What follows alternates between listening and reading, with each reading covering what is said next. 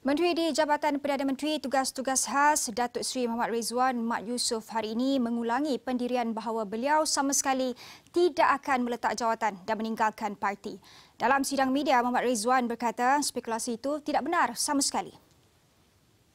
Katanya lagi terdapat percubaan kumpulan tertentu yang sengaja membabikan beliau untuk memecah belah keutuhan Parti Perbumi Bersatu Malaysia atau Bersatu serta mengganggu gugat kestabilan politik negara.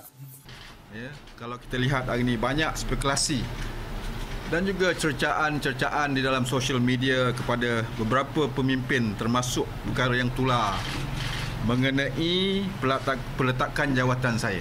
Ya. Saya ingin menegaskan ianya tidak adalah tidak benar sama sekali dan saya berpendapat ada kumpulan tertentu yang berke, yang berkepentingan politik mahu menggugat kestabilan negara ataupun menggugat kestabilan politik negara. Sekali lagi, saya nak ulangi, saya tidak meletak jawatan dan tidak akan meletak jawatan. Malah terus bekerjasama dengan barisan kabinet yang dipimpin yang oleh Yang Amat Berhormat Perdana Menteri Tan Sri Muhyiddin Yassin untuk memantapkan pentadbiran dan pengurusan negara terutamanya dalam keadaan ekonomi yang sangat mencabar akibat wabak COVID-19. Sebelum ini Muhammad Rizwan lebih mesra dikenali sebagai Pak Wan antara nama yang disebut-sebut akan meninggalkan Kerajaan Perikatan Nasional dan kembali kepada Pakatan Harapan.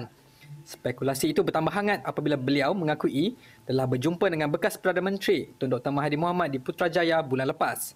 Namun ketika ditanya media mengenai pertemuan itu, Muhammad Rizwan berkata ianya perjumpaan santai sempena Aidilfitri dan mengakui beliau turut berjumpa beberapa pemimpin politik lain termasuk Presiden PKR Datuk Sri Anwar Ibrahim pada minggu lepas.